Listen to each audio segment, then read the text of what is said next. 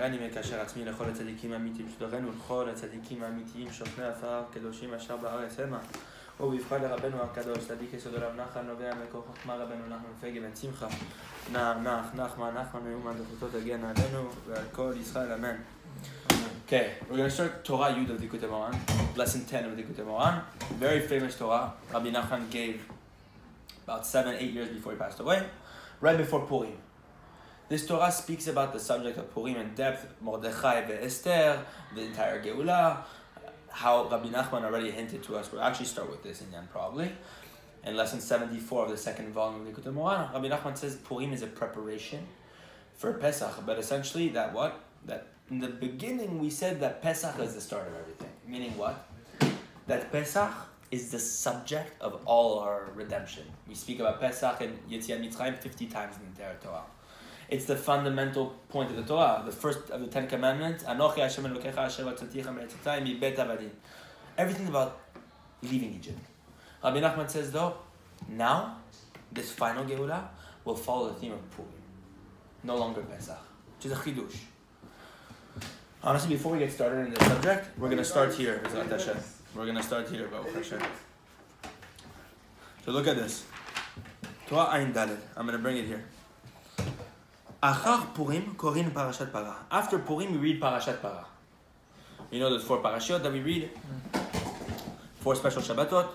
Para is right after Purim. Why? Because Para is a preparation for Pesach. Why? Because in order to perform the Korban Pesach, we need to be pure. And the Para Aduma was what purified us. Anyone who is impure would be purified through the ashes of the Para Aduma. Because we read Parashat Para, which speaks about the people being essentially careful, the people being told to be careful from tumat met, from the defilement of the dead. Essentially, not to get in contact with the dead body, not to be in the same room as the dead body, to, to make us pure enough so that we can give the korban pesach. כדי שיהיו טהורים לעשות הפסח, so that we should be pure to perform the korban pesach. ובתחילה הוא בחינת פור, in the beginning, it's the pur, the lottery. Because obviously in Purim we say, ki pilpul hu agorah. They give the lottery, which is the goral. That's what Haman did. He did a lottery to find out which day to exterminate the Jewish people. What, which thing did he land on? The 14th of Adar. So what was the inyan? That um, that Haman did a lottery to perform the extermination of the Jewish people. So Purim starts with a lottery. Purim obviously comes from the word pur, which means lottery. That's where it comes from. Ki Purim al Pur, because we know that Purim has brought down the kavanot of the Ari HaKadosh, the Arizal. Besod Hipil Pur, Besod Para Aduma, that all the Inyan of Purim surrounds around this idea. Para, Pur, it's all the same shoresh. See how it's all around the same subject. But after Pur, after the word Pur, which is the lottery, we transform it into Para, which is the cow, the red heifer. Because Rabbi Nachman saying Purim is certainly the direction and the derech on the way to Pesach. Meaning you cannot get to Pesach before you go to Purim. Before you want to get to Pesach, you have to first go through the subject of Purim and the theme of Purim.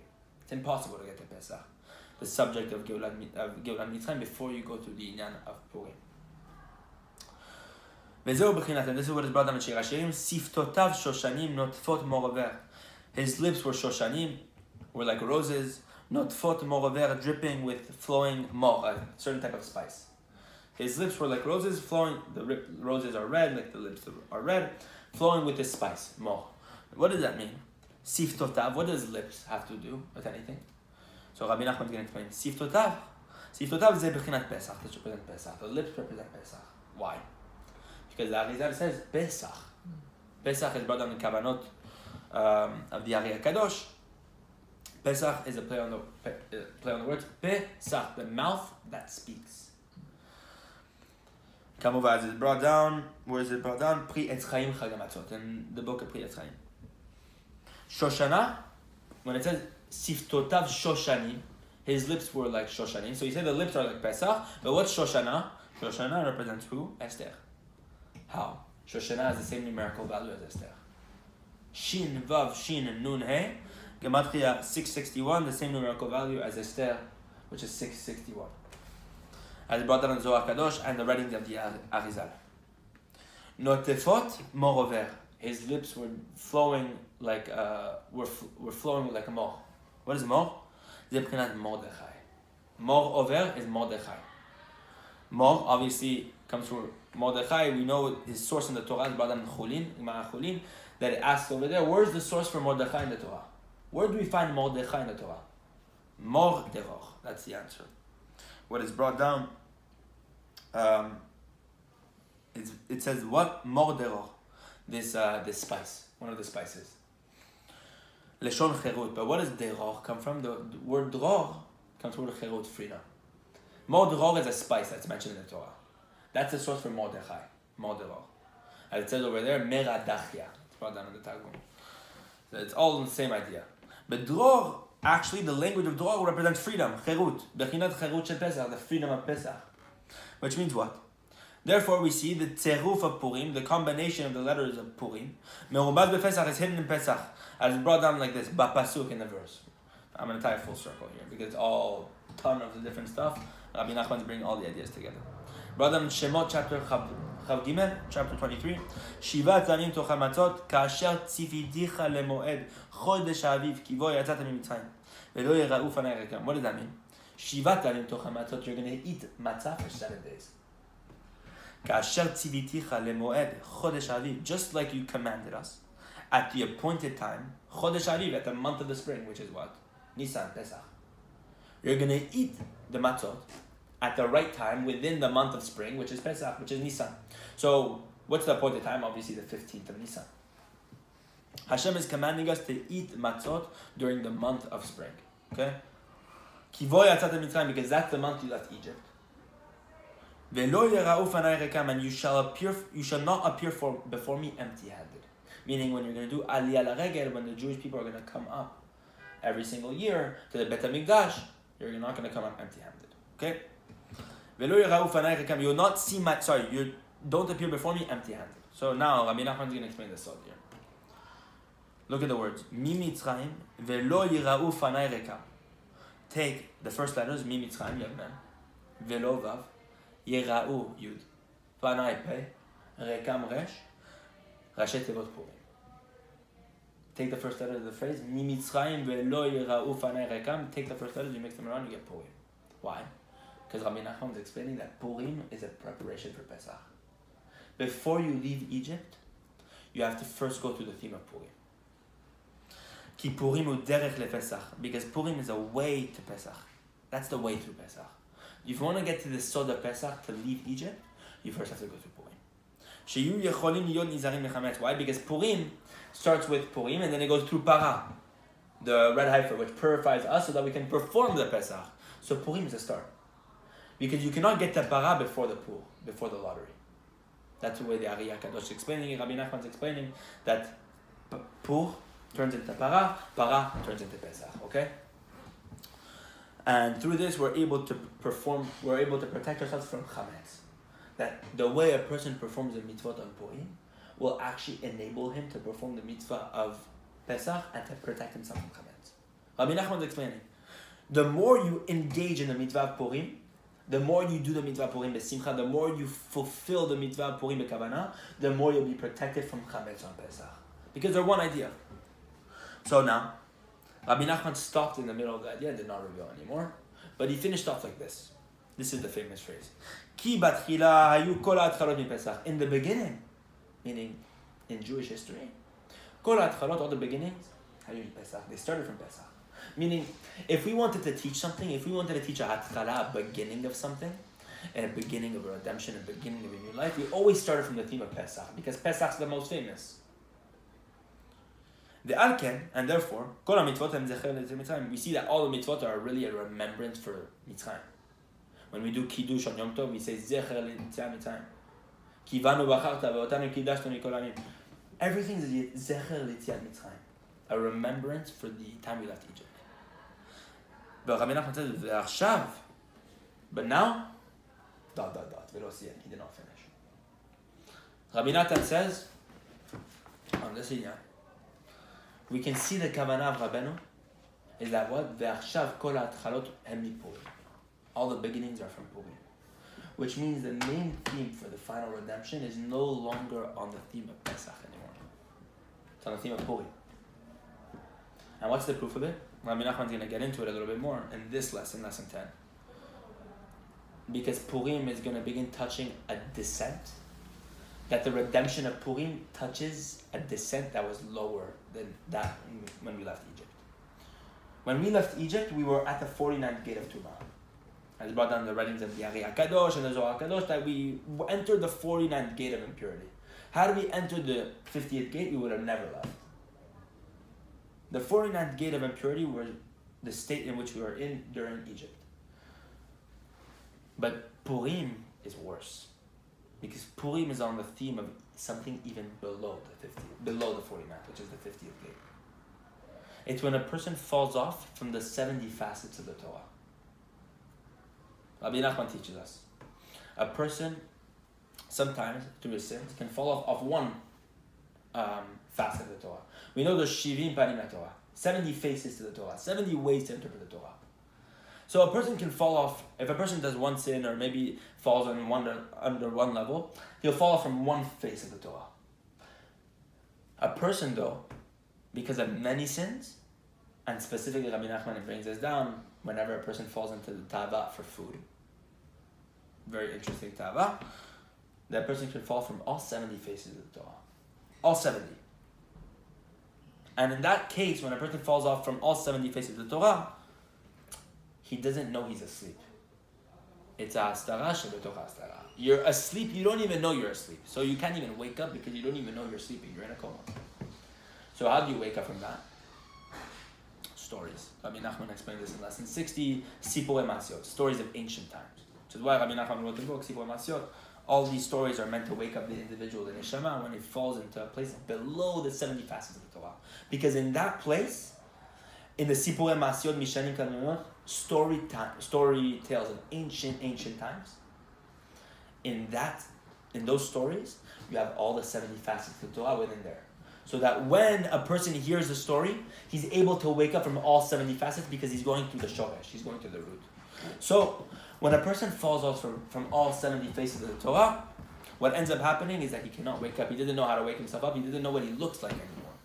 But now, through the story time, story tales of ancient, ancient times, then a person can wake up. And that's what Rabbi Nachman is teaching here. We're going to get a little bit more into the subject, which is why Megillat Esther is read like a story. Why we read in Megillah that has to be scrolled, it has to be like completely rolled out like an entire story. It has to be read like a Megillah, like a scroll. Why? Because the entire Sod of Purim happens through the story. There's actually a very unique inyan about Purim.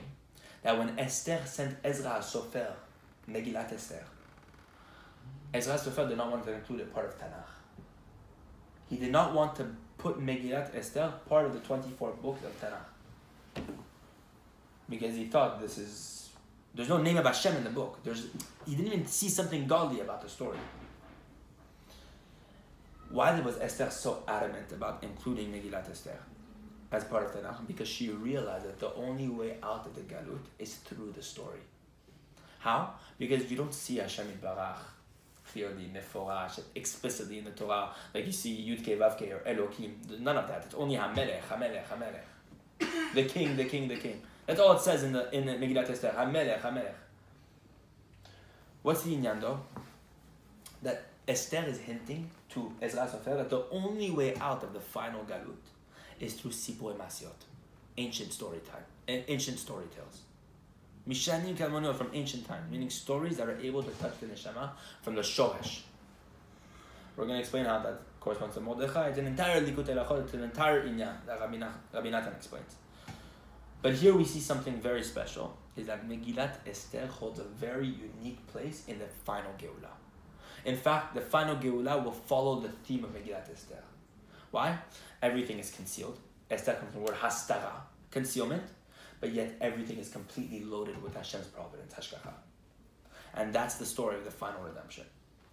How every single person, every single individual has a unique elokut within him, a godliness within him, and how Hashem Bach is manifesting himself within each and every person essentially, and doing awesome things that we can't even see. It's beyond the, the bare eye. Because you have to look beyond the surface. Purim, we see, in, on Pesach we see miracles, the Ten Makot, we see things that we can't even imagine. Purim, totally different. Purim, everything happens under the realm of nature. Everything. And that's the biggest Geulah. Because that's what's going to touch the people who hit below the 50th gate of impurity, which is where we are right now, Rabbi Nachman says. Rabbi Nachman says we've sunken below the Nun Share Tuma. We're below that which we were in Egypt. Which means we need a, we need a, a redemption that goes much higher. And that's why it's going to follow the theme of Purim, because that's the low we hit during Purim. So I actually want to bring this down here in Papa al. Look what he says here in Ayin Dalit about this subject. Very special inyan here. אמר המחבר עיין חסד אברהם עין הקורא נהר נ"ז ששלושים יום קודם לפסח מתחיל הקדוש ברוך הוא להוציא נפשות ישראל מהיכלות הטומאה מעט מעט. את עוד המחסד לאברהם, Holy Sefer, look what it brings down over there, that 30 days before Pesach, Hashem Yitbarach begins to take out the souls of the Jewish people from the hechlot atuma me'at me'at, from the chambers of impurity, little by little. Following the theme that we just mentioned in this lesson that you cannot get to Pesach before you go through Purim. Meaning what? 30 days before Pesach, Hashem midbarach is taking the souls of Jewish people out from the chambers of impurity. Little by little. When is 30 days before Pesach? Bijuk Purim. On the day of Purim.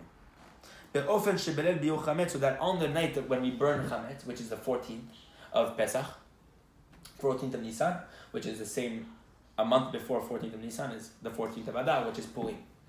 So exactly a month later after the, the day of Purim, we begin to burn the chametz. At night, we take a spoon, we take a feather, we take a candle, and we begin to search the entire house to search for chametz.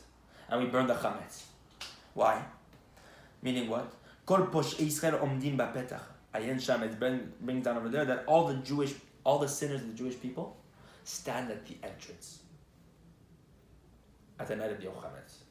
What that means, I have to look over there, I didn't look into it. שהתחלת התיקון של פסח מתחיל מליל פורים. So he says look over there, but the idea is that what? That the beginning of the rectification of Pesach, the tikkun of Pesach, יציאת מצרים, starts with פורים. וזה שכתוב בשולחן ערוך סימן תכ"ט, this is what is written in Shulchan Aruch, in, in the book of Rabbi Yosef Karo, in um, Siman 429, Shoalim Bilchot HaPesach Kodem Pesach Yom. We begin to ask about the halachot of Pesach 30 days before Pesach starts. That before it's a, it's, a minhag, minhag said that before 30 days before Yom Tov, before a Chag, we begin to study the halachot about the Chag. So 30 days before Pesach is exactly Yom Purim. And that's exactly when you start studying the halachot of Pesach, which is why it's a segula. Very important that whenever on Purim, it's very important to start start even the first halakha of Shulchan Aruch on Pesach. Why? Because Purim is a hachana de Pesach. Purim is a preparation for Pesach. Um, and this is why we start on the day of Purim itself. Coming to show us a little bit more about the subject, that Purim is a preparation for Pesach. And if you want to get to Pesach, which is the entire Yetziat Mitzrayim, the leaving of Galut, which we're in right now, it's all through the theme of Purim. Now, what is Purim? Now, that's what Rabbi Nachman explains in lesson 10. So, to understand lesson 10, you need to understand how he gave the lesson. Look at this. Rabbi Nachman, before Purim, gave this Torah. This is about eight years before he passed away. It's brought down over there. שכתבתי לפניו ואלה המשפטים, דינים חסידי שלום ישראל, על ידי ריקודים קו נעשה המתקת הדינים. So what did it bring down over there? That it brought down in um, Aran, oh sorry, in Chayei Moharan, also in Sichot HaRan, גם כן, that Rabbi Natan was saying that when he wrote this lesson before Rabbi Nachman, meaning when he was recopying this lesson that he heard from Rabbanu, lesson 10, what did he do? He began to write a lesson, start a lesson with this subject, which is what? Shesh dinim chasver Hashem rikudim emchad kaf naaseh hamtakad dinim. Rabbi Nachman famously teaches, when there's judgments upon the Jewish people, when there's decrees on the Jewish people, through dancing, lifting your feet, and clapping your hands, you're able to sweeten the judgments. When you have a deen on you, both personally, and a deen on the Jewish people collectively, meaning at a personal level and a collective level, the way to sweeten the judgment is to clap and to dance. To clap your hands and to dance lift your feet. Chidush. Rabbi Nachman can explain this according to the Zohar and everything later. But Rabbi Na- when Rabbi Natan was copying this, Rabbeinu was in front of him, Rabbi Nachman was in front of him. Amar and Rabbi Nachman was telling Rabbi Natan, Kach amarti, so I say. This is like I say. What do I say? שעכשיו נשמע גזירות חסד He said that now we can hear that decrees are happening on the Jewish people. At that time, there was tremendous decrees happening on the Jews in Eastern Europe. והנה הולכים וממשמשים לבוא לימי הפורים האלה. רבי נחמן is saying, but the days of Purim are approaching. כי התורה הזאת נמרה סמוך לפורים, because we know this Torah was given right before Purim. Everything Rabbi Nachman did at a Torah perspective when he gave a lesson was bidiyuk so precise to what was happening in the moment. Just to give you a, an idea, one time, lesson 29 of the Gemara, I'm just going to give you a random example, just to show you how precise it is, how much Ruach HaKodesh is involved. One time, Rabbi Nathan used to Rabbi used to give Torah on very certain occasions. He used to give shiurim on very certain occasions. He used to give out a Torah lesson. One of those occasions was like Shabbat Nachamu, Shabbat Chanukah, you know, all these different types of uh, Moadim. Shavuot, Rosh Hashanah, all these ideas. One time, it was one night. I think it could have been a Friday night or something. I forget when. Um, it could have been one of the holidays. Nonetheless, Rabbi Nachman is giving Torah 29 of the Likutei Moharan, speaking about the Tikkun HaKlali, about Tikkun HaBrit, rectifying the covenant. And that's the first time he mentions the Tikkun HaKlali. Look at this. A person, one of Rabbi Nachman's followers, came to him that night. He had, he had no idea he was coming, or he had no idea he was coming. But no information involved. He just came and he brought his daughter, this man. His daughter had epilepsy. She was very sick. Rabbi Nachman, within the lesson, lesson 29, teaches us the remedy on how to how to treat epilepsy. Through the Tikkun HaKlali. And why the Tikkun HaKlali is a tikkun for epilepsy.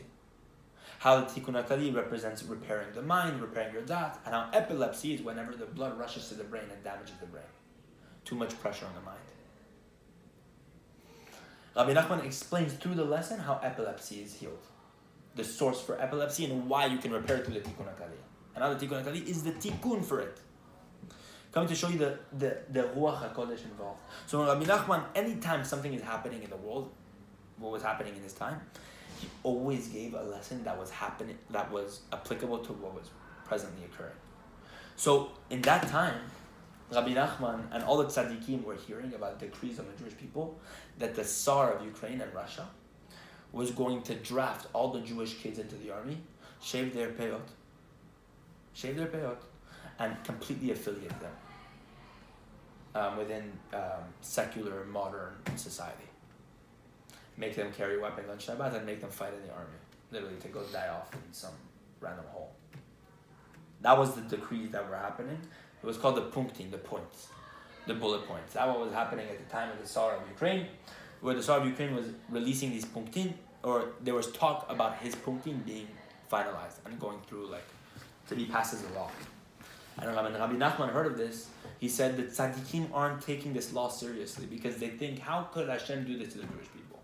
Rabbi Nachman said though, we've seen Hashem do this many times in the past, unfortunately. And we must take these decrees very seriously to try to sweeten the judgments. Look at this. Rabbi Nachman said, after the Purim, whenever he taught this lesson, he spoke about the dancing and the clapping. After Purim, he said, Baruch Hashem, I was successful in pushing off this decree 20 some odd years. 25 years later, from Purim that year, the decrees of the Purim came out. 25 years. But what was Rabbi Nachman's kavanah here? that a Jew, through the simple practical application of the, the advice that he's giving, through dancing and clapping your hands, which is what he did on Purim, you can push off decrees, both personally and collectively. Meaning what? What's the kavanah? Rabbi Nachman saying, and Rabbi Natan emphasizes this a thousand times. The main kavanah, when you take Rabbi Nachman's words, is to apply the simple divurim. It's as deep as it gets. It goes through the Zohar, the Midrashim, the Ari Kadosh, the Gemara. It goes through every part of the Torah. Pshat, Remez, Drash, and so. We're talking about the deepest secret of the Torah here. But the main thing Rabbi Nathan says is to bring it down to deep shitut and to apply what he says in simplicity because that's the main kavanah Rabbi Nachman wanted. The depth is infinite. The main thing though he's teaching us is the practical application. The masse. What do I do? And look what he says here. Yiyu Yisrael merakadim imcha okav. Rabbi Nachman saying that the Jewish people, when it comes Purim, they'll be dancing and clapping their hands. And through this, the judgment will be sweetened. And he repeated these words. And he said again, כך אמרתי, so I've said. His kavanah was so that we should uh, awaken our hearts. שנדע ונבין שכל דברי תורתו הקדושה, אף על פי שיש בה עמקות גדול ונורא מאוד מאוד ורזים נעים וסודי סודות עמוקים ורחבים עניין בכל דיבור ודיבור, אף על פי כן עיקר כוונתו שנשמע לקבל דבריו הקדושים בפשיטות. רבי נחמנ's word are broader than the sea. They're as infinite as they can get, a Torah like this. But Rabbi, Nat, Rabbi Nachman, Rabbi Nathan saying, Rabbenu's kavanah, when he's saying, kach amarti, so I've said, was so that you understand the main thing is the simple, practical application. That when he's saying like this, the first line of the Torah, כשיש חס ושלום דינים על ישראל, על ידי ריקודים ועמך על כף על כף נעשה דינים. When there's, God forbid, judgment upon the Jewish people, through dancing and clapping hand to hand, you are able to sweeten the judgments, to remove these judgments. And that's what Rabbi Nachman's kavanah was. Bipshitu, to dance and to clap hand. You're feeling a suffering, go clap and dance your hand. Go clap and uh, go dance and clap your hands. And that's uh, what happened with Rabbi Nachman's daughter. Rabbi Nachman, Rabbi Nachman's daughter, could have been Sarah, I forget who, came to Rabbi Nachman with a toothache. Back then, they didn't know how to treat that stuff, obviously, with doctors and everything. Complicated as that, she was going through a very big suffering. So she came to her father and she said, Abba, ah, I'm really not feeling well. My tooth is hurting.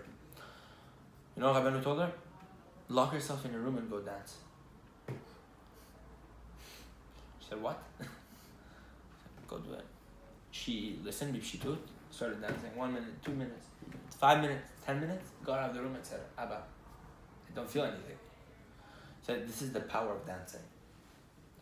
Dancing mamash, not only is it take off any dinim, it's refuah. Because simcha is a refuah for all the cholawot, right? Rabbi Nachman teaches us, mitzvah gedolah liot besimcha tamid. Mitzvah, it's a very big mitzvah to be happy always. And what does he say over there? That mitzvah, it's a, when you're besimcha, you're able to re- remove all your sicknesses. Simcha is a refuah for all sicknesses. Any sickness you can imagine, it's a refuah. From Chaz the biggest sickness of cancer to anything else. Simcha is the biggest healing in the world. Rabbi Nachman explains it, the secret of this with regard to the Zohar, the pulse, how the pulse is damaged through sadness, and how you repair the pulse through song, which is Simcha. But we see here that dancing is the way of Simcha. Which is why in Purim it's such a big mitzvah to dance. And we're going to explain why the dancing is even bigger than the clapping. Because it requires a lot more koach to lift your feet up than it does to clap your hands. I mean, Nachman at the end of the lesson is going to explain the connection between Mordechai and Esther. And how Mordechai represents the hands, but how Esther represents the feet. That which is nistar, hidden. The Geolah mainly comes to Esther, not Mordechai. Which means it comes from the from the the regel from the feet. What did it say in uh, Mishle? Ragleha yodot mavet, I think. Her feet descend down to the death. Where are the feet? The feet represent malchut. It's the lowest sfira, but it's the malchut. It's attached to the klipa. The lowest level of holiness is always attached to the to the impurity. It's always closer to the impurity because it goes in a ladder essentially. So the lowest level is always going to be closest to that which is impure. The feet is the closest thing to tuma, to impurity, which is why there's no purity for the feet anymore. You can't even do netilat yadayim on the feet anymore because they're so tameh. The hand we can repair. We do yadayim in the morning. The feet has no reparation because the feet have already descended down to the klipa, to the evil forces. But through dancing, you lift them out. Dancing is the way you lift the feet out of the galut, which is what? How you lift the malchut out of the galut. How you lift the Shekhinah out of the exile. All the secrets here about Purim and the final Geula are all hidden within the secrets of dancing and clapping. Crazy secrets. Um, and that's what Rabbi Nachman said. what did he say? I dachiti zot le'esim He said, I pushed this off for 20, 20 odd years, right? And 25 years later, it came into being, this, uh, this thing. But it comes to show us that what? That when a person dances and claps, he's able to push off the trees. I think it's a good introduction to the lesson. Honestly, whoever wants to start, Besimcha. Who wants to start? The first line. Go, go for it, Ron. No, no, it's showing me. Muy bien, vas-y. ואלה המשפטים? Hein? ואלה המשפטים? ואין המשפטים. תעשה ליכוד על החוק, אבל... ואלה המשפטים אשר תשים לפניהם ויחו. So these are the mishpatim, the laws, that you shall place before them. Rabenu, he's going to push that verse aside, like Rabenu's way, and he's going to come to it at the end of the Torah, the end of the lesson, to teach us how all the things that he's teaching is hidden within that verse. Okay? These are the mishpatim that you shall place before them. Okay? Put that aside. Now we're going to enter to the subject. Yalla. כשיש חס ושלום דינים על ישראל על ידי ריקודים, it's what we were talking about, right? Exactly. Yeah. Uh, what's riku- rikudim? Rikudim is dancing. אה, ריקוד. dancing, אוקיי. אמ, והמר- והמחאה, את כף אל כף נעשה המתקת הדינים. So that's it. הדינים. Look at look at look at the beauty behind here. Tu veux essayer? You wanna you wanna try? אמ, כף אל כף. Ouais, kaf el kaf, ça veut dire palm to palm. When you push one palm to one palm, אוקיי. naase hamtakat dini. You create a hamtaka, a sweetening of the dinim, Yeah. Of the judgment. Meaning what? When Chaz v'Shalom Yisrael is overcome by gzerot and dinim and all the things you can imagine, the worst decrees, the way out is dancing and clapping. Okay? Now this is a very unique inyan. Where is the here? No, no, no. I didn't have to have anything in here. No. Okay. Okay. So we continue. Who wants move? Kikar Vas-y. Je veux lire, Sam Vas-y. Kikar. Kikar Gedulato, chez la Kadosh Baruchou, ou euh, chez Gam Akoum? Akoum Yedou, chez Yesh, euh, Elohim, Shalit, ou Moshel, Kamuva, Bazoar, Kadata, Itro, Vama. Continue un peu. Kiata, Yeda, Yedati, Kigadol, Adonai, Verrou, euh, Keden, euh, Itiakar, euh, Vitala, Shema, Allah. Khazak. Ki Kagdulato Shela Kadosh Baruhu, because the essence, the, now Rabbi Nachman is going to explain the Kavanah. The greatest aspect of Hashem Barach, the essence of God's greatness, you want to go to the greatest, you want to understand when Hashem is greatest, When is Hashem at the highest madriga? When, when can we exalt Hashem the most? When is Hashem greatest? Shegam Akum, when the Avodat Kochavim, when the Goyim, when the other nations, the Gentiles, Yed'u, that they should know Sheyesh Elokim Shalitu Moshe. When they come to recognize that there's a God that is a ruler, that he's Shalitu Moshe, that he exercises his rulership. Did you say that is like right now though? Like right, you're saying right like now? Right now in our, uh, yeah, in our age. You're saying that this is happening? I would say so. Interesting. The Muslims, they they believe we have the same God. That's number one. Number two, the Christians are finally coming out to believe that there's actually is a God and not just Jesus. It's very possible. It's very possible. I mean, each and every person at a personal level exalts Hashem's name in that regard, exactly like you're saying. Now, when we say ki, ki what did it say? Ki ata yadach ki gadol Hashem וכולי, um, what did Rabbeinu say? ידעו שיש אלוקים שליט ומושל. That they should know that there's an Elokim שליט ומושל. Meaning they come to recognize the God of the Jewish people. You're right. At a person, at a level that the same God of the, the Yeah. Muslims, is, uh, uh, the same God of Abraham is the same God of the Jewish people. They have some there, it's not 100% accurate in the way we view it, obviously, because they mess up some of the midot of Hashem Yitbarach. Obviously, we believe that Hashem Yitbarach has 10 sfirot and the way he manifests in the world and all these inyanim. uh, Different. Nonetheless, nonetheless, when they come to recognize, yes, it's very possible that they're bringing a very big dula to Hashem Yitbarach. But specifically, when it, com- when it comes to recognize the God of the Jewish people, it says they're right. That's messianic times, right? Yeah. But by the way, you see you see people like this. You see it's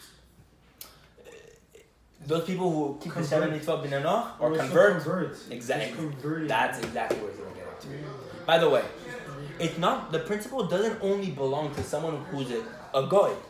Rabbeinu is coming to give a chidush here that specifically the principle applies to someone who's very far. Meaning what? Someone who's rachok from Hashem Yitbarach. Someone who's far from Hashem Yitbarach. When he comes to recognize Hashem's greatness, this is a very big thing for Hashem. The A Baal translation Tshuva. Idolaters, I guess a good word. Exactly, meaning a person who's in the aspect of Avodah Zarah, or a person who's in the aspect of a lack of emunah. But what about like, what about someone who's off the dare? Yeah, when he comes back, you know how much. I know that's like saving like what a thousand lives or something, no? I, I don't know what the number is, but like it's a, It's a lot. It's a lot, yeah. Because you're imagine you're not only saving yourself, you're saving generations to come. You're saving other people also because Kol Yisrael There's inyanim we don't understand. What I can tell you is this: He brings the example of Yitro Rabbeinu. Why? Because he brought down the Kadosh. When Yitro came and said, "Ki ata yadati ki gadol Hashem ki gadol Hashem mikol Elokim," for Hashem Yisbarach is above all the other gods, meaning what? That the inyan of Yitro was coming to recognize that all the other gods he served before were klum, they were nothing. Only Hashem Yisbarach is the one. When he did that, the Zohar Kadosh says the name of Hashem was exalted like never before in history. Never before. Hashem's name elevated itself to the highest level possible. Why? Because Yitro, who's the biggest priest, Kohen Midian, the priest of Midian, he's literally the biggest idolater in the world, comes and says Hashem Yitbarach. It's like imagine the Pope right now comes and says Hashem Yitbarach, you're, you're it. And the Jewish people, I'm with you. And the Torah is in it. Imagine, you know what that does? Uh, Mashiach probably is here. Because when someone so far comes close, that's Hashem's greatness. Because when's Hashem's greatness? That he can associate with those who are far. How do you know someone is great? By the fact of how he lowers himself. Meaning what? Sometimes people think tzaddikim are very big tzaddikim because they're so separated from Kedusha. They're, they're so alone. They're so kadosh. Rabbi Nachman says the bigger the tzaddik, the more he associates himself with the world. To the point where you can even get lost in thinking he's not even a tzaddik. One time Rabbi Nathan found Rabbi Nachman playing chess with some philosophers in Uman. This is a couple months before he passed away. Rabbi Nathan, every time Rabbi Nathan used to walk into Rabbi Nachman's house, he used to have like very big yirah because obviously when you see a tzaddik, tzaddik bechina Moshe Rabbeinu, like a, a neshama like this, and you're about to walk into his house, imagine the fear you're feeling on your face right now that you're about to go speak to him. You don't even know what to say. You're you're so afraid. No, you have to have yirah, you have to have yirah from your Rebbe. So, he always used to go back and forth and shuffle between the house or not, whether to walk in or not. So Rabbi Nachman playing chess, and these philosophers are speaking to him like it's like their best friend, like some casual guy, like I'm speaking to some some random guy across the street. Playing chess, Rabbi Nathan looks at Rabbi Nachman. He says, "Rabbeinu." He says, "You play chess with them?" He says, "How can you?" He's like, he asked him at a question at Abu Hashem. He said, "How can you play chess with people so far? How can you engage with people so far?" He says, and he says, "What? And me speaking to you is the same. Is not the same thing. Meaning what? For Rabbeinu, the the level of the tzaddik is so high. When you talk about Moshe Rabbeinu, for him, the difference between a zaken and someone else is, it's he's dealing with the same inyan here. Obviously, we're not going to compare Rabbi Natan. Rabbi Natan was a tzaddik beyond our imagination here. But Rabbeinu said, and he said, but what? Speaking to you guys too is not the same thing? Meaning, the separation indication is like here to here and then here to here. You see? It's not that big of a difference. Even though for us it's a massive difference between Rabbi Natan and the philosopher. Mm-hmm. Especially if you knew who these philosophers were, they were shining beyond imagination. Rabbi Nachman made them do tshuva like crazy. You, we, these philosophers pushed out Rabbi Levi Yitzchak Miberditchev from Uman. Rabbi Levi Yitzchak Miberditchev wanted to settle his chassidut in Uman. Because every, every chassid, even the Tov saw these dinyanim, that Uman had a very special place because many neshamot of the Jewish people sacrificed their souls there. And there was lots of rectifications that needed to happen to the neshamot. Many tzaddikim wanted to go there to rectify the souls. Obviously, they weren't successful because it requires a tzaddik at the bechina that we're talking about here, like Rabbi Nachman Moshe Rabbeinu, Rabbi Bar Yochai, to repair neshamot like this. The Rabbi Levi Tzaddik Be'atisha was kicked out by the same philosophers that told Rabbi Nachman to come. Hmm. Rabbi Nachman waited eight years before he walked into Uman. You know, eight years before he walked into Uman. Eight years before he passed away, around this time maybe. Rabbi Nachman was traveling through Uman to go to Breslev. And as he was traveling through Uman, he did a Shabbat in Uman, and he looked at the cemetery. He said, "That is a good place to be buried." Rabbi Nathan said, "From that dibur, we already understood that Nachman chose his burial place was in Uman." He did Shabbat there, and he encountered these philosophers that we're talking about: Hirschberg, Moshe Landau, all these people. By the way, Rabbi calls him the Nachash Ador, the, Metzach HaNachash, the forehead of the snake of the generation. People that made a vow not to say Hashem's name because they completely denied God. These people we're talking about. Jewish people that completely threw everything away, kafar, ba'ikar, they completely denied Hashem Barach, everything. They made a vow never to say God's name, so as not to give him importance. We're talking about people that despised God. they kicked out Rabbi Levi Tzami Berdichev. Rabbi Nachman did a Shabbat there. And around Seudah Shishi time, Rabbi Nachman was doing Shabbat there. And the philosopher Hirschberg, who was the leading philosopher, he, they were one of the students of the leading philosopher at the time, Jewish guy. Um, I forget his name, um, Naftali Wazel. This man wrote books on philosophy. Person would read them, he would like lose it. You, you would completely lose your emunah, stuff like this. Question that we can't imagine.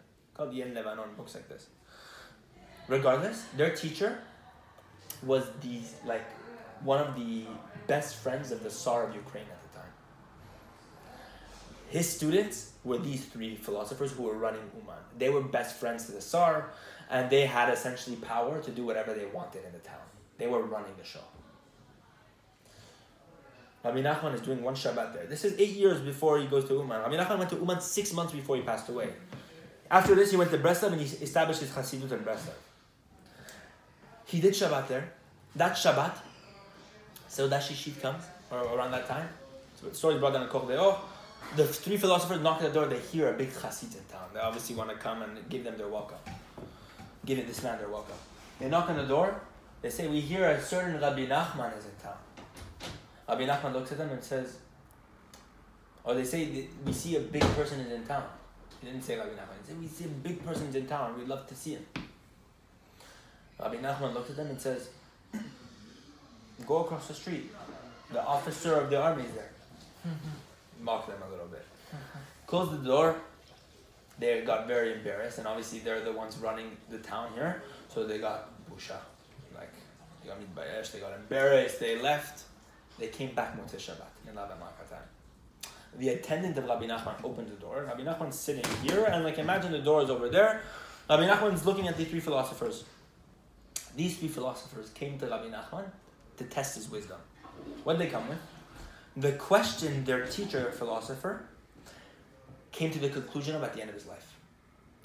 This teacher of these three philosophers spent his entire life building philosophy and wisdoms and foreign wisdom, the, the mashemam, you know what I mean? Uh, uh, we never hear of such things. At the end of his life, the last week of his life, he sat in solitude and came up with the final question. He didn't even come up with an answer. He didn't even have the answer. He came up with the final question that he that uh, that he didn't even come to the answer with. He passed away before he came up with the answer. Their students wanted to test Rabbi Nachman with a question. They come before Rabbi Nachman before they even utter a word. Story is brought in Kovdeo. Rabbi Nachman looks at the three philosophers and answers the answer Wow. without the question. They didn't even ask anything. They're so taken aback. They they look at Rabbi Nachman and they say, I'm not even going to ask how you knew the answer. But the fact that you knew we were going to even ask, before you even, we even asked the question, you gave it to us. Meaning, how do you even do that? You know Rabbi Nachman responded? From the hairs on your head, I know your thoughts. Uh-huh. There's an entire Torah in Likutei Moharan. Rabbi Nachman explains how the hair is motarot of chokhmah, excess wisdom. Which is why it's good for a man to keep his hair short and there's the entire Yanima, the peyot and all the, beard, the beard excess is all chachamim, but the, the this part is din, all this stuff, you know. All these ideas. Rabbi Nachman says that through the hair on a person's head, the tzaddik is able. The Zohar speaks about this. Through the hair on a person's head, you can understand a person's thoughts. The philosophers were so impressed. They were so impressed by this. They told Rabbi Nachman, essentially, we'll invite you back when it's time. There's an entire story about how it happened. They had a special book, Yen Lebanon, the the the the, uh, the, book, the Yen Lebanon, and uh, what do you call it? Rabbi Nachman, the guy opened up. The guy was Hirschberg was reading through a page. Rabbi Nachman read the page to him without even reading it, like a crazy story. Rabbi Nachman asked for the book. They did not give it to him. I mean, so what happened? Hirschberg said, when it's time for you to come to Uman, we'll send you the book. What, what book? This book of their teacher, Yen Lebanon. Let's do it next Good to see you, Michael. So, next week. Chazak, Achim. Ouais, See you guys next week. Ah, okay, okay, so. So they were they had this special book. Michael, can you close the door by any chance? Yeah, I got you. Thank you. Okay. Why did you want the book? Yeah. Rabbi Nachman explained in the lesson Samer Daled Likutei Moharan that the tzaddik Emet needs to study books of philosophy to repair nishamot that fall into those wisdoms. Mm. But only he can do it because other nishamot don't understand how to navigate the levels of philosophy and understand how to elevate their soul or how to how to stay holy within that. Meaning they'll fall. they'll fall themselves. Only the, the, the neshama Moshe Rabbeinu can go into that into that wisdom, and when he studies it, he's able to repair the neshama that have fallen and will fall into it. Very deep lesson, lesson sixty four. Lots of secrets there. Did, did, finally, did they do uh, Teshuvah after that? So uh, uh, yeah, it's crazy actually. It's a crazy story. So, so they were from uh, Uman? Yeah, yeah, they were Jews and everything. Yeah, yeah, were, I know, but from Uman. They're from Uman. Um, eight years later, Rabbi Nachman in Breslov. Breslov went on fire. There was a fire that broke out. Rabbi Nachman's house was burnt. It was a Tuesday evening, I think. And Rabbi Nachman went on top of the hill, overlooking the city of Breslov. And he started laughing. And Rabbi Nachman looks at him and he says, Why are you laughing? Rabbi Nachman was happy. He says, Because if everybody else was suffering and I wasn't suffering, I would have to be mishtatef in their. I'd have to be joining their pain because it's my responsibility as every any single Jew to join the pain of the Jewish people. But because I am in the pain, I have the obligation to accept it with simcha. So he said, I'm very happy because I know it's Min Hashem. When he was saying this, someone came, a messenger came, and gave him the book Yen Lebanon, which he had waited eight years for. Rabbi Nachman's face turned red because he knew that this was his time to go to Uman to pass away. Because he knew that he was going to die in Uman. We're talking about Tzaddik Emet. He knows where he's going to be buried. Since the six days of creation, Rabbi Nachman's burial spot was already decided in Uman. It's about the Zohar Kadosh, Parashat Vayechi, I think. Al tikre Amon ela Uman. Don't read it Amon blueprint. Rather read it Uman. Meaning the blueprint of the world starts here. What's the blueprint? The blueprint, ça veut dire le, les plans. Ah. Tu vois? Ok, ok, ok. The blueprint of the, the Torah is the blueprint.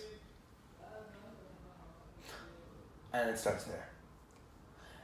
Rabbeinu knew he was passing away. It was his time. He was he was red, but he was besimcha. And Rabbi Natan knew this. So what ended up happening? He went there, and that's when he the, the story of him playing chess with the philosophers. So Rabbeinu said, "Why are you playing chess like this?" This happened after when he was already settled in Uman. He said, "He said, he says with this is what he said to Rabbi Natan. He said." With you, I build worlds. With them, I play chess. Meaning, it's an entirely different Inyan. How the tzaddik is able to lower himself. And that's the Gdula of Hashem. Hashem Yitbarach is so great because he settles himself with the lowest people. And it's when there's low people that come to find Hashem Yitbarach that that's the biggest thing for Hashem. Because you're bringing everything, all the levels in between close to Hashem Yitbarach. So, you ask, did they do Shuvah? Many of them did Shuvah. I think two of them did Shuvah. Hirschberg, on the last Rosh Hashanah of Rabbenu's life, that was six months after the story, around 18 days before Rabbi Nachman passed away. Because Rabbi Nachman passed away in Sukkot. The last Rosh Hashanah of his life, Hirschberg prayed Rosh Hashanah with the Breslovers in the in the in the in the shul. And when Rabbi when one of the Breslover Hasidim told Hirschberg, "Do you want a cup of coffee?" He said, "No, not until I listen to the shofar." Crazy mm. how nobody was able to bring that back to tshuva. The kavanah, the tzaddik, he goes, he stoops so low to bring them to the madriga. It's a madriga we don't understand. So Rabbeinu says, the bigger the tzaddik, the lower he goes. Kichol b'shamayim v'aretz, because kichol for everything is in the heavens and the earth. What's kichol? The tzaddik. The Zohar Kadosh says. Kichol is the tzaddik. Represents yesod. This is why it says by Mar David, when you say by Mar David in the morning in Shacharit, when we give the, what do you call it? The, the three coins of tzedakah? Bakol mikol kol. No, is it, when is it? Uh, no, no. Uh, Bakol mikol kol, is that it? I keep forgetting. Do you ever see do? Wow, I'm blanking out right now. Here, honestly, here, look, let me look it up one second. And Vaiva David. Wow, totally forgetting. Um, look at this.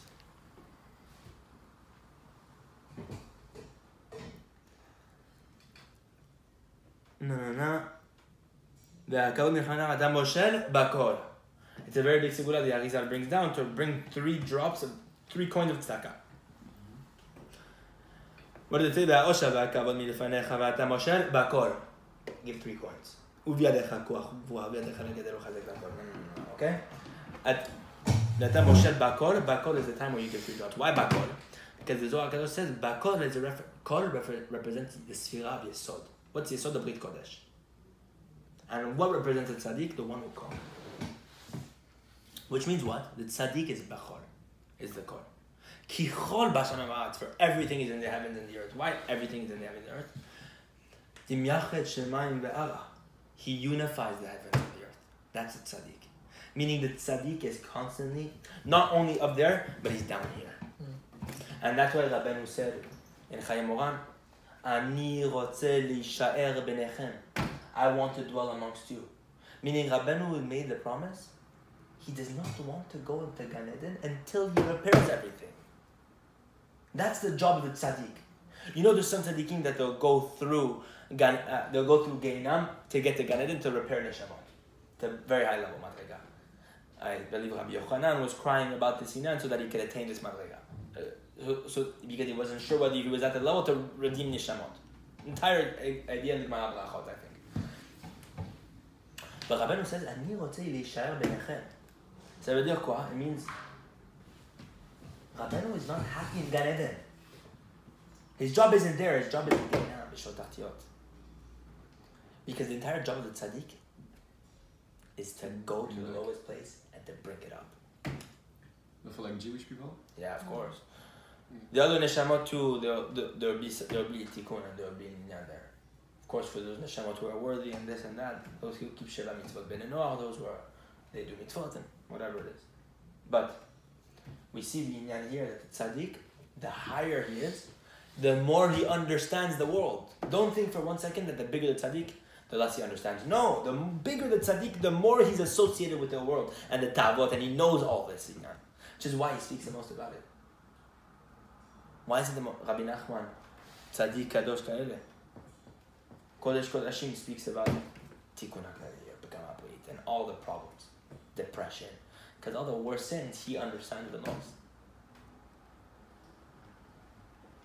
Why the Ari HaKadosh brings certain tikkunim that nobody's ever brought. To the Baal Shem Tov brought the Inyan of Chassidut to teach the, the simplest Jew the lowest Jew that he too can draw close to Hashem because he understands them the most. And that's the inyan here.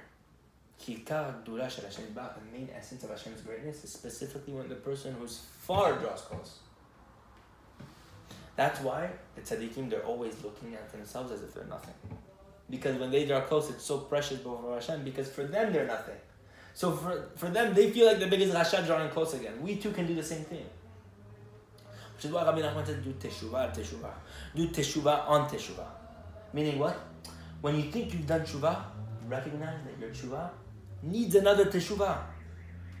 Hashem Baruch, I said I'm sorry a week ago over this sin. But I realized that the sorry I said a week ago is nowhere near as sincere as the sorry I can say now.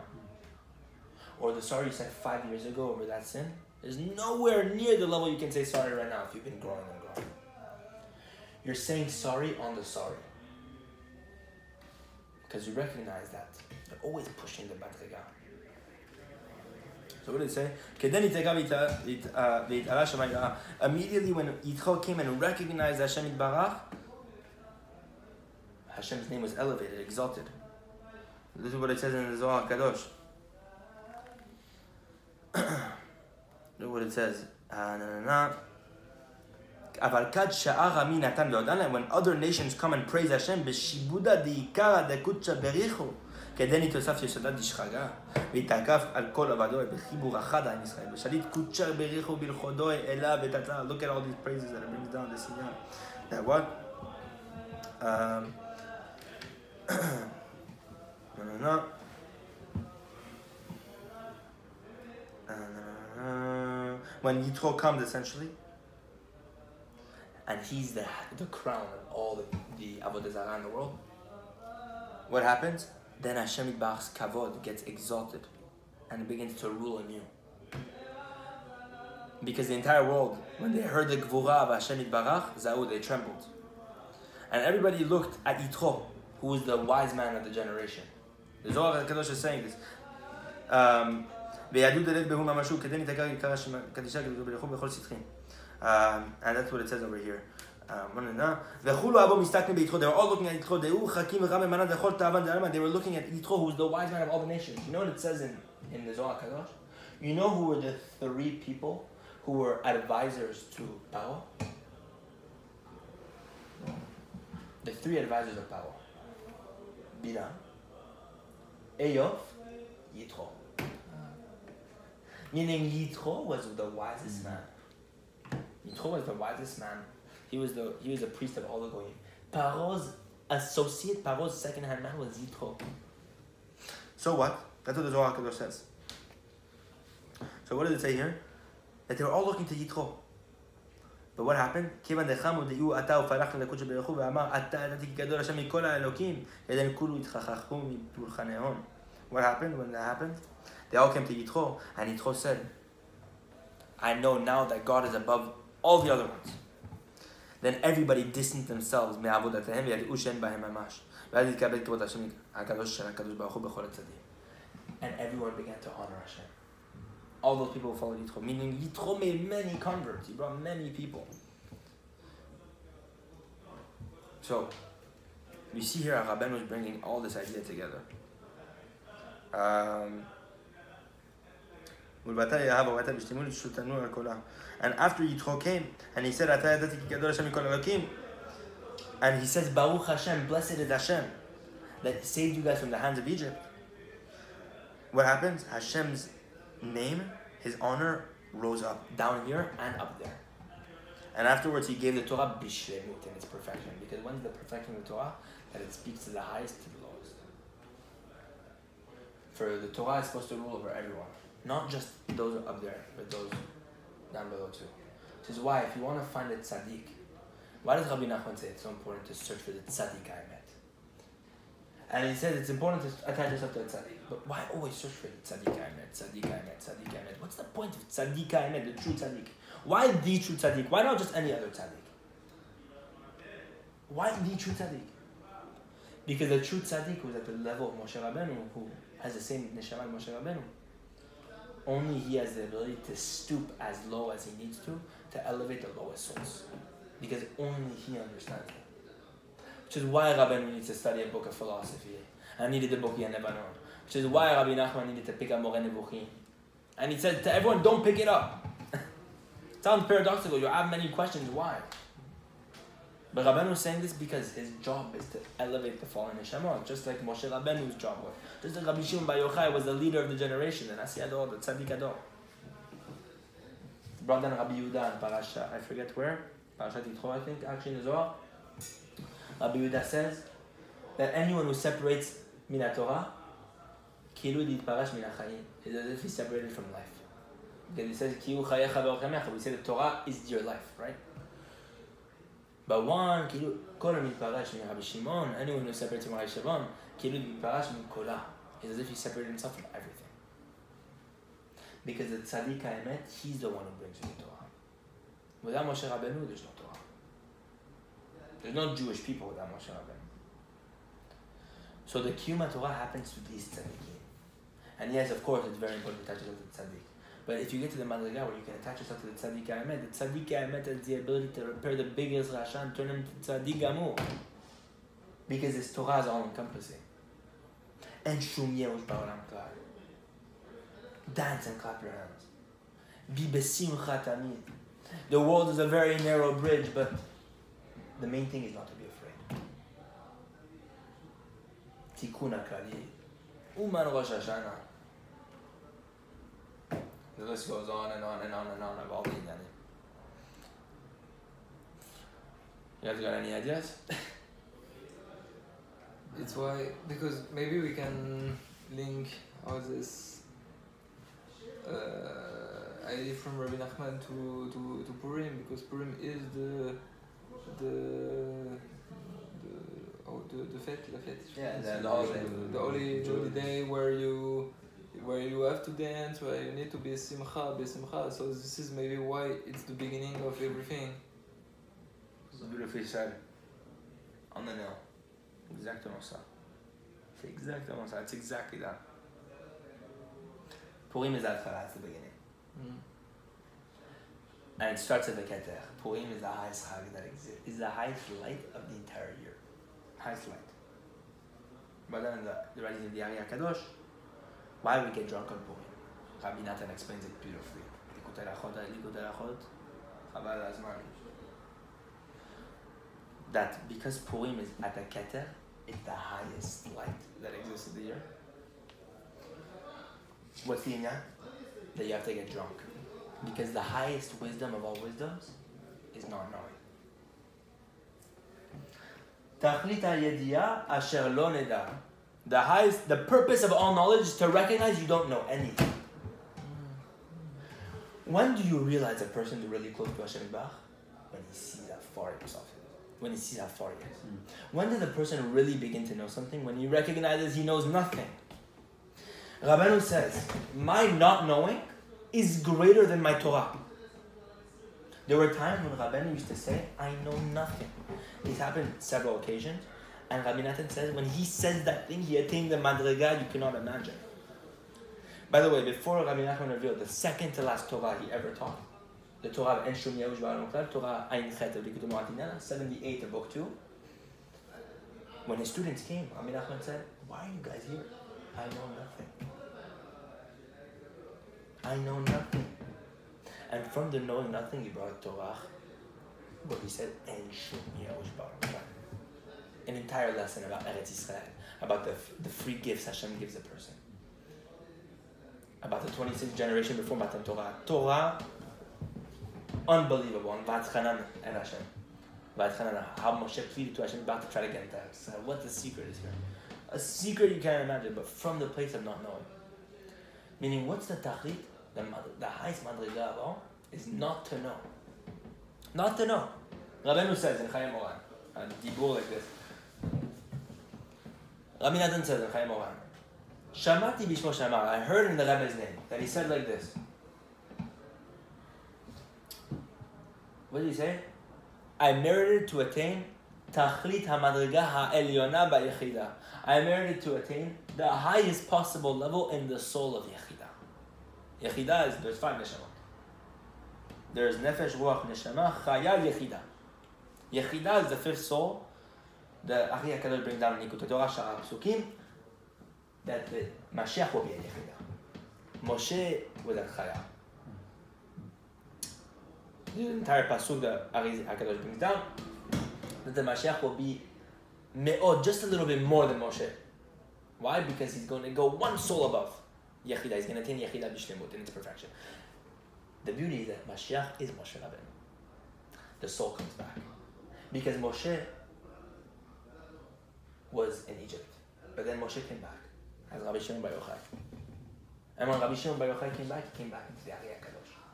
And Moshe Rabbeinu came back again into the Baal Tov. And Moshe Rabbeinu came back again to Rabbeinu, Rabbi Nachman. Rabbi Nachman is the fifth, but the highest piece of the soul until the Mashiach comes. This is why Rabbeinu says, the madriga between me and the Mashiach, the same. The only difference is, people won't believe me. People are going to believe him. And why? Because the lower the generation gets, the bigger the tzaddik we need. We were in 49 gates in Egypt. Right now we're below the 50th. Moshe Rabbeinu comes back again to bring a new Torah. It's what we call Likutei Moharan. It's what we call Sipur.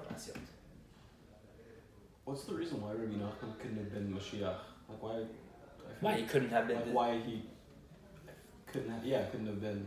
It's a same soul, same. You say. yeah, yeah, it's the same God. soul. Yeah. Just I guess wasn't the right time. But also Rabbeinu's son was supposed to be the Mashiach. was supposed to be. Yeah, Rabbi Nachman said about it. Chayei Moharan, look at it, black and white. Rabbi Nachman said about his son. You know what he named his son? Shlomo Ephraim. He was Mashiach ben David and Mashiach ben Yosef.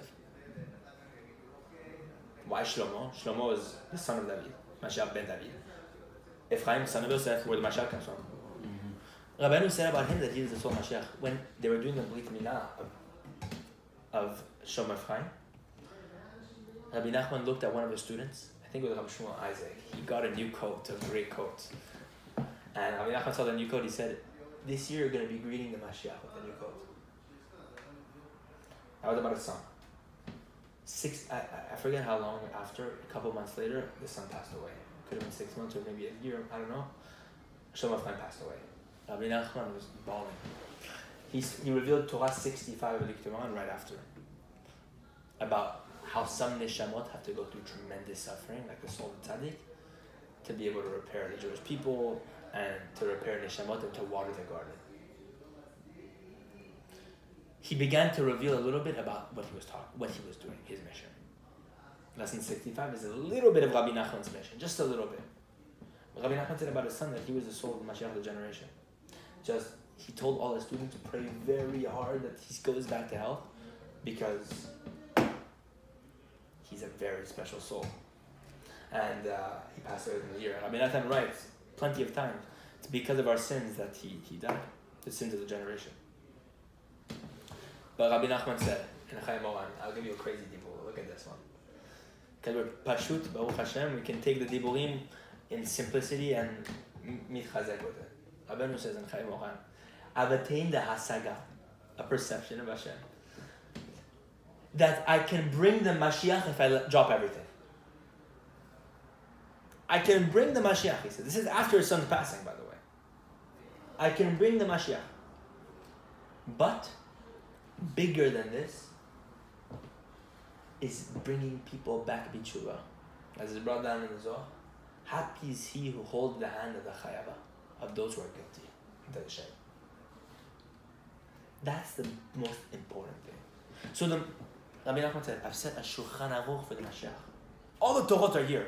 Rabbi Mashiach is going to say, Ita belikutei Moharan. That's what Rabbi Avraham Rabbi Nachman says in the Kochvei Or. Mashiach is going to say, here it's brought in Likutei Moharan. Rabbi Israel, Rabbi Israel de Odessa, Saba said, Rabbi Israel said, Mashiach is going to tell everyone, why didn't you read Likutei Tfilot? Why didn't you read Likutei Tfilot?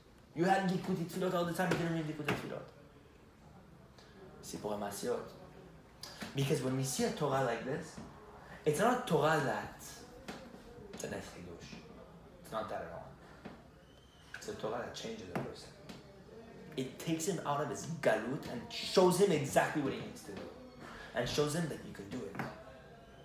Why is Rabbeinu so chazak? Why is Rabbeinu so important? Because he needs chazak an individual. Forget the diburim that he says. Forget all the things he says about himself. Those madrigot that we're talking about, because he attained all those things. Forget that. What's Rabbeinu saying? I want you guys to become kamoni mamash, literally like me. Because Rabbeinu's goal is that when his talmidim come before the Kisei HaKavod after 120 years, that they come before the Kisei HaKavod and they say, Rabbeinu wants them to look at the Kisei HaKavod and be completely rid of their tavot, to be tzaddikim. Rabbeinu looked at his students, he says, Nachon atem anashim ksherim. Yes, it's true, you guys are upright people. אבל רציתי שתהיו כחיות הנועמות ביער. But I wanted you guys to be like animals howling in the forest. לילות שלמים, entire nights. Meaning what? Rab- It's one thing to be following Shulchan Aruch, to be upright people, right? Rabbeinu said it's not my kavanah. I want you guys to be screaming for Hashem. That's the kavanah. Of course it's to follow Shulchan Aruch. But Rabbeinu's kavanah is that we're out there in the forest begging Hashem Yitbarach to draw us close to Him. That's what Rabbeinu wants. Uh, Rabbeinu's asking his students to give over the heart. Give over the heart. Rabbeinu, Rabbeinu said, Give me your hearts, and I'll completely renew it. Give me your hearts. How does one inscribe himself within the heart of Rabbeinu? I mean, I mean, Nachman says, there's different types of talmidim. There's people that come to listen to my Torah. There's people that come to eat off my plate. The Hasidim, they have a, it's an inyan, when the tzaddik eats off a plate, they leave a little bit so that the other talmidim eat because the shira and the leftover of the tzaddik's food has a lot of kedusha. So there's some that come to eat off my plate. But there are those neshamot, there are those talmidim that are inscribed in my heart. They're, they're in my life. And that's the way I want you guys to be, Rabbeinu says. So you can listen to a Torah of Rabbi Nachman, you can study Likutei Moharan, but it doesn't mean you're inscribed in his heart. How do you inscribe in the heart? Ipshitut, you apply what you what you study.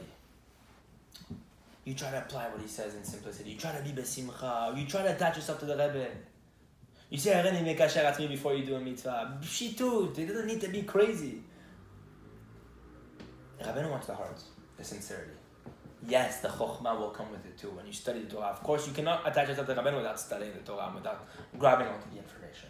But the main thing is that people can study the Torah, but use it as a wisdom. Throw the wisdom out. Apply it in simplicity. Change yourself from it. Because when Rabbeinu was saying clap and dance, he's saying it b'pshitut, clap and dance, lift up your feet, go put, jump head first through the window. To make make Hashem besimcha. B'pshitut, throw out the wisdom. Even though it doesn't say anywhere in the Torah to do a cartwheel, do a cartwheel for Hashem Yitbarach. Because b'pshitut, what does Hashem Yitbarach want? Rachmana liba. Hashem wants the heart. It's in the Zohar. Hashem wants the heart. That's all He wants. He wants the sincerity. He wants. He wants. Why? He wants you to do it with a full heart. So that's how you do it. Whenever you try to apply the Torah without any kavod, without any. That's uh. These are the inyanim Rabbeinu was teaching us. Constantly renew yourself. Itchashut. So yeah, these diburim are very strong. People can take them in many different ways. But when you understand the person saying them, you realize that he's not doing it at all for them. Kavod.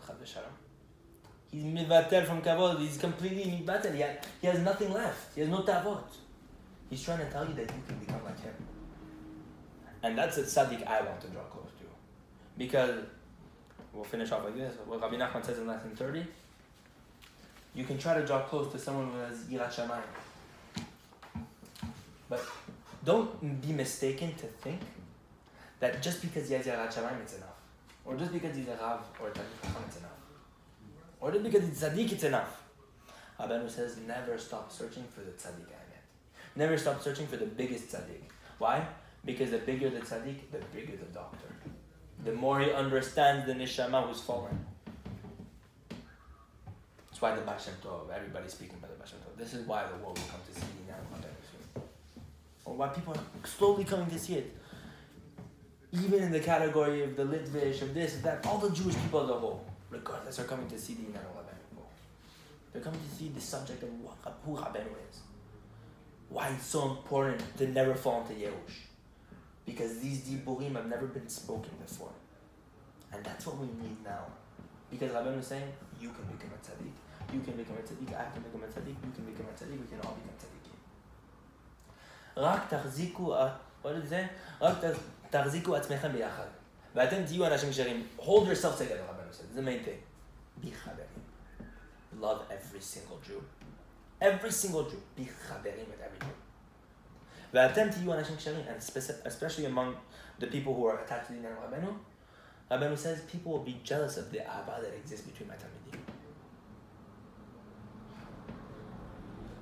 But he said, אבל לא, אנ- לא אנשים כשרים בלבד, אלא צדיקים גמורים. you guys not only will be upright people, you guys will become tzaddikim mu'min. Just hold yourselves together. Be mitchazek. Be mitchazek. This is why when there's someone in people who teach in blessed, it's never linyan of chaz v'shalom manhigut, authority, leadership. The manhig already passed away 212 years ago, Rabbi Nachman. Rabbi Nathan never took the mantle. Rabbi Nathan was the manhig at the level because he was a talmid. He took on everything of Rabbeinu, meaning he was so nullified. Il avait rien de lui-même. He, was, he had nothing of himself that he made everything that he did just a clear of Rabbi Nachman and Hashem Bar Saton. So Rabbi Natan became the manhig of the generation because he made himself nothing.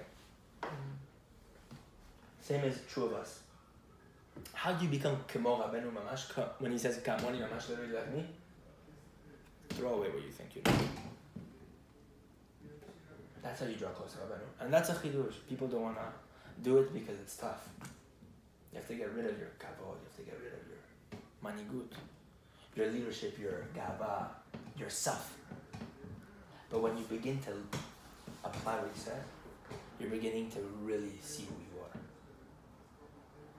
You're he's illuminating you. Hashem is illuminating you to recognize who Gil is, who Sam is, who Ruben is, who Moshe is. How do you do that? Forget what you think you know. העיקר לעשות שהכל תבוא לו לקשר לעצמו, ש- ל- לצדיק שבדור, לרב שבדור. How? Everything he says, left or right except בפשיטות. He says left is right and right is left. Believe him. תאמין לו. That's what it says in Sifri. In the Midrash. Kol davar asher yagidu yamin Everything they tell you left or right. What does it say in Rashi Ben Sifri? Even if he tells you right is left is left is right, believe him. Because he knows what he's talking about. And even though it seems to the world that it's wrong, it's not wrong at all. We just have our goggles on the wrong way. But he's not doing this for himself. All for us. That's the tzaddik emet. Moshe Rabbeinu sacrificed every aspect of his neshama for the Jewish people. Every single aspect of his soul. And so did all the other tzaddikim who went through tremendous suffering to bring down Torah that was revolutionary. All the tzaddikim went through tremendous suffering. Even the, the Hasidim, the Gemara Tanya, all the tzaddikim, they brought tremendous, they had to go through tremendous suffering to bring something down to the Jewish people. All the more so the soul of Moshe Rabbeinu has to encounter tremendous yisurim and afflictions and pain because he's the Barasada, he's the master of the field. So, Baruch Hashem, we have a lot to be mitchazek on. Obviously, we just did the first two sections, not even, actually, yeah, the first two sections. But that's the main thing. We'll, we'll slowly move on with it. Sorry for the sidetracking. أو خشب خزاكي خزاكي